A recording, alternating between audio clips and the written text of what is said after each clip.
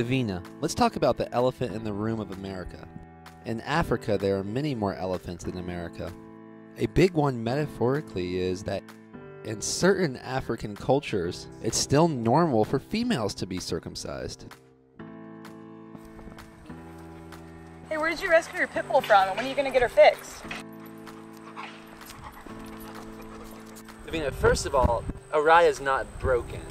And if anything needs to be fixed, it's people's ideas around genital mutilation. And what she means by fixed is actually to pay someone to cut out the uterus and ovaries of Araya. I know. And that's what she did. She actually paid someone to cut off the balls of her dog. Davina, see? This is what they naturally look like.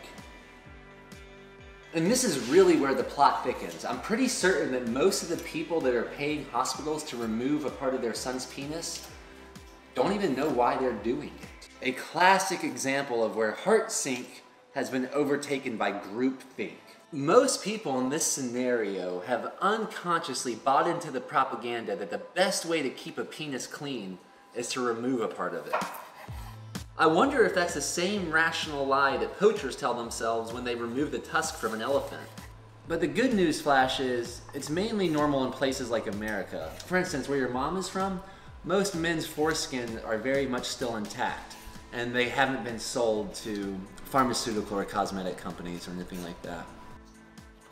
Crazy enough, part of my foreskin was removed when I was eight days old by a rabbi in front of a lot of drunk and dissociated family members and friends. This is why it's important for daddy to be a voice to prevent the mutilation of our future boys. Just as your great grandparents survived the violent groupthink, I trust we can overcome the violent groupthink of normalizing genital mutilation.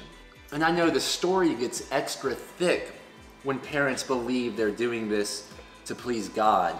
But really, that's been the story for a lot of scary stuff. And Davina, I say if an elephant wants its tusk removed or a boy wants part of its penis removed, let the elephant and man decide for themselves. They're playing the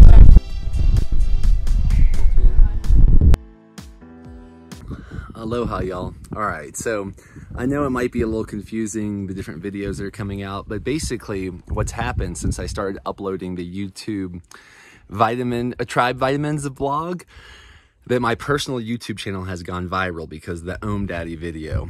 Many of y'all may know the Om Daddy video when I uploaded it on Facebook, since I uploaded it on Facebook about three years ago, it's had hundreds of millions of views around the world. And so many people took the video and uploaded it on their own channel, on their own media channels. But for some reason, I'm not sure if it was the intention with growing my YouTube channel again or what, but I think I've gotten like three plus million views on how to stop a crying baby in seconds video at my Daniel Eisenman YouTube channel. So my ask, I, I, might continue uploading cool content here every once in a while, but I'm gonna continue the Vid Tribe Vitamins video blog leading up to the release of my first dietary supplement product, which I believe will be epic for recovering vegans, alcoholics, athletes, and pregnant moms. And I'm gonna keep it a secret for now. We should have a Kickstarter coming out soon in order to procure our first batch, but just so appreciate everyone's love and support over the years. And if you like these breaking normal news flashes, or if you want to see the podcast teasers or other breaking normal media, it should all be on my Daniel Eisenman channel. So head on over there, subscribe, and stay in touch. And I so appreciate all the amazing people that have been reaching out since I started this video blog. It's quite incredible. And I'll look forward to updating y'all more soon. Keep breaking normal and definitely get the book on Audible if you have not listened to it yet. JP Sears and I read it ourselves. And yeah, trust you're enjoying yourself wherever you're at. Home is where you're at, family's who you're with. The time is always now. Let's do this. Trust you enjoyed that video. If you want to see the rest of the Breaking News Flashes, come on over to my personal channel. Here we go.